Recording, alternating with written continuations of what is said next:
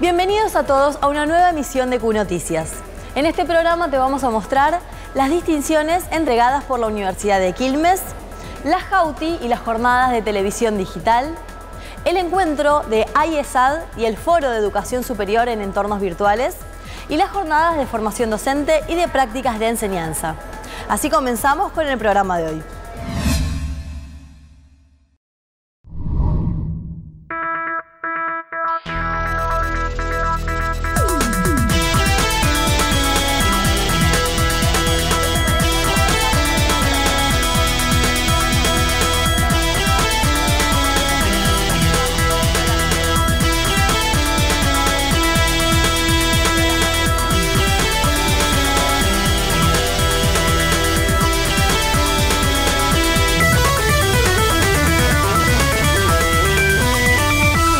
Universidad Nacional de Quilmes distingue como profesores eméritos a los docentes Noemí Girval Blacha y Gustavo Lugones por su trayectoria académica y aportes a nuestra Casa de Altos Estudios.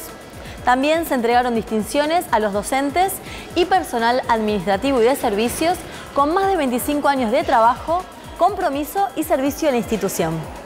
Son reconocidas personalidades del mundo académico y que han hecho mucho por la universidad y en dos momentos diferentes, primero Gustavo, luego Noemí, el Consejo Superior consideró que era meritorio darles este título de profesor emérito, que es el máximo que podemos otorgar a nuestra casa, a nuestros profesores. Cuando yo llegué a esta universidad en el año 1995, venía de la UBA y me cambió la vida, en el sentido más positivo del término. Eh, amigos, contención, eh, desarrollo académico y profesional, un espacio en crecimiento, este, un ambiente agradable, en todo sentido, digo, físico y humano. Bueno, trabajar aquí desde el año 96, pero hace 43 años que trabajo para la universidad pública, para la ciencia y la tecnología pública, es decir, que soy una reciente jubilada que sigue trabajando. De todas maneras voy a terminar el curso acá y para mí eso es muy importante. La universidad está por cumplir 30 y nos pareció un buen momento para hacer este reconocimiento a aquellos que han venido trabajando durante 25 años por el crecimiento de la universidad. Yo, yo ya había tenido una distinción importante cuando me eligieron como rector. Eh, esta otra es, llega ya después, ya me jubilé, ya terminé, y entonces lo vivís, no sé si es una cuestión, eh, ¿cómo te podría decir? Eh, simplemente de lo que uno siente, que siempre siente más fuerte lo que le pasa hoy que lo que le pasaba antes. Puede ser, pero yo lo siento esto como, para mí, eh, con más regocijo que, que en la anterior. Tal vez porque la anterior venía con mucha responsabilidad también, ¿no? Porque había que gestionar y eso no es fácil. Así que este es un mimo completo y total. Son representaciones del afecto que a uno le tienen, creo, además de lo que uno representa, supongo yo, por los méritos que ha hecho.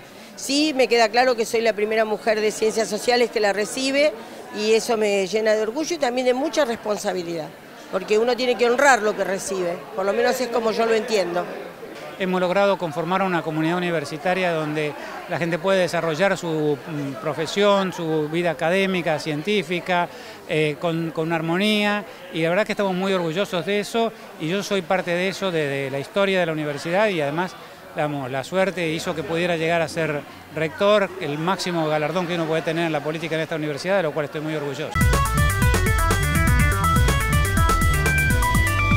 El programa transversal de televisión digital y Red Auti, la red de aplicaciones de usabilidad de la televisión digital interactiva, organizan la séptima conferencia iberoamericana junto a las octavas jornadas de televisión digital. El encuentro reúne investigadores que comparten sus estudios y trabajos sobre los medios audiovisuales. Se organizan las séptimas conferencias iberoamericanas, Jauti de Televisión Digital e Interactividad y conjuntamente con las jornadas transversales de televisión digital.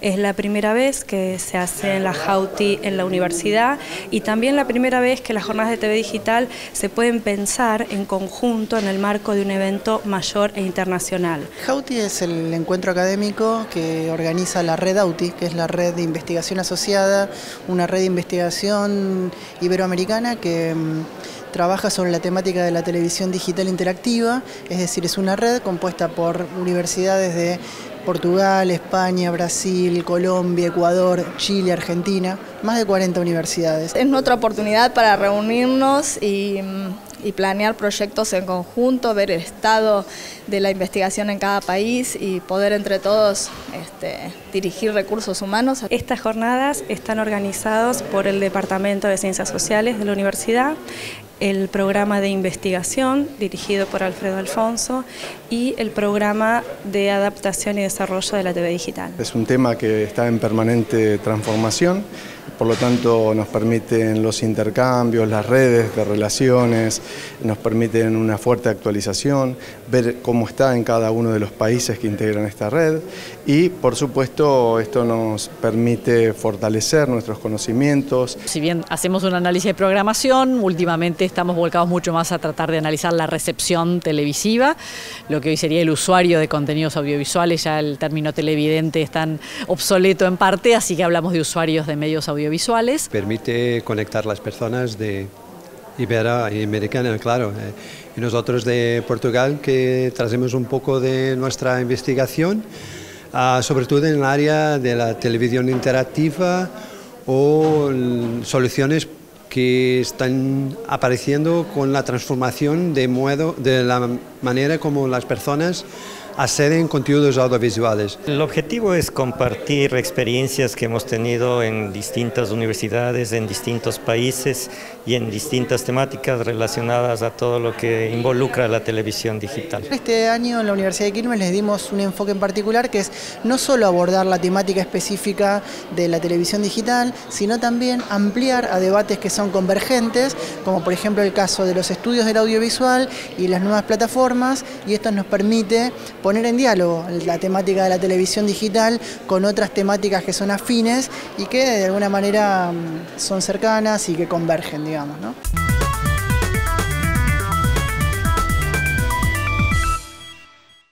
Nuestra universidad es sede del 18 encuentro de la Asociación Iberoamericana de Educación Superior a Distancia y del quinto Foro Internacional de Educación Superior en Entornos Virtuales. El evento reflexiona sobre la incorporación y la apropiación de tecnologías digitales y de bimodalidad en instituciones de educación superior. Este evento reúne a las principales universidades a distancia de lo que es todo el mundo hispanohablante y portugués. Los encuentros los discutimos todo, ¿no? Eh, un poco los avances que tenemos y que tenemos ganas de hacer y también los problemas que tenemos porque no es fácil hacer una enseñanza de calidad inclusiva y esa es la potencia de nuestro sistema. Además de eso venimos a aportar y a contar un poquito los proyectos que la ISAD ha hecho, que son muchos. La idea principal es ver de qué manera la educación eh, avanza. Ya no es posible que encerremos a los jóvenes seis horas al día entre cuatro paredes y todavía les pidamos que aprendan.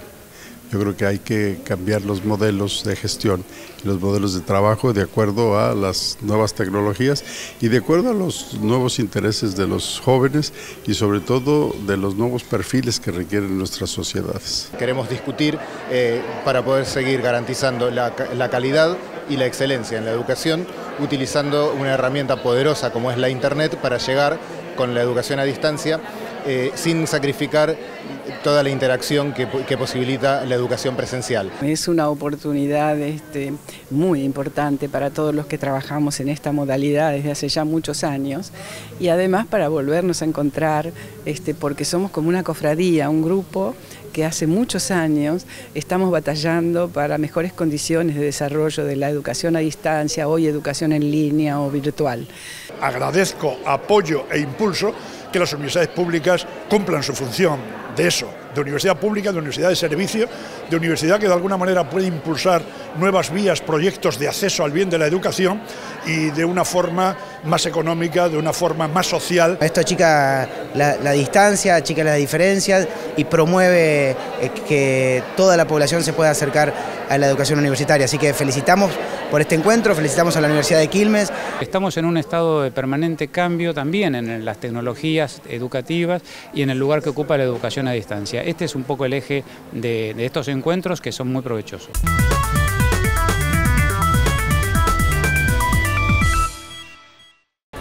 Las jornadas sobre la práctica de enseñanza y la formación docente, organizadas por las carreras de profesorados y las licenciaturas en educación, buscan analizar y debatir sobre las dificultades, problemáticas y desafíos. En el encuentro participan actores que forman parte del campo educativo.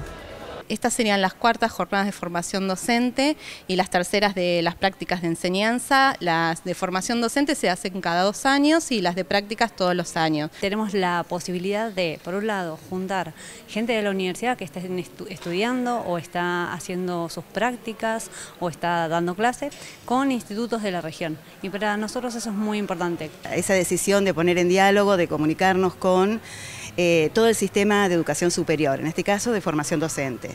Hoy más que nunca es necesario estas actividades, estos encuentros, para poder pensar, reflexionar, ponerle palabra a lo que implican las políticas neoliberales en educación, a lo que implica un ajuste en términos de no solamente salariales, sino también de políticas públicas. Para nosotros es un momento de encuentro muy importante porque es donde establecemos vínculos con los institutos de formación docente y en donde al mismo tiempo intentamos problematizar eh, sobre la formación docente y la educación en general. Permite una operación de historizar ir construyendo una memoria colectiva sobre los debates que nos fuimos dando en el transcurso de estos años. Tanto institutos como universidades somos no solo compartimos la responsabilidad de la formación docente, sino que somos parte del nivel superior, nivel que está en condiciones muy complejas en este momento. Creo que es un debate importante y sobre todo que se dé acá en la Universidad de Quilmes, en una institución pública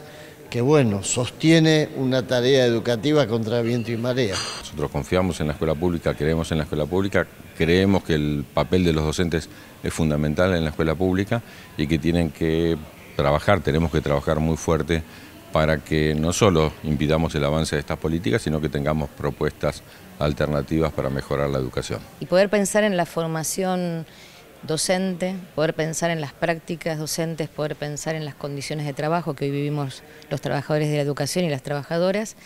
Y, para adelante esto construye eh, conocimiento colectivo. Hacerlo todos los años nos permite además tener una mirada retrospectiva, pero además eh, imaginar cómo pensar el futuro, digamos, cómo podernos eh, posicionar respecto de lo que ya hicimos antes. Y eso me parece que es muy importante. Eh, reunirnos, problematizar, fomentar la articulación con los institutos, con los docentes en formación, tanto de esta institución como los de la región, para nosotros es un encuentro importante. Así que bueno, lo seguimos fomentando año a eh, y bueno, y vamos a seguir trabajando para, para que esto tenga continuidad.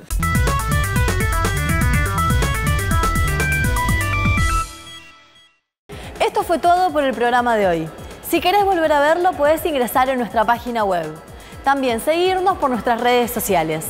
Recordá que además puedes encontrarnos en el campus virtual de la modalidad de estudios a distancia de nuestra universidad. Nosotros volvemos a encontrarnos la próxima semana.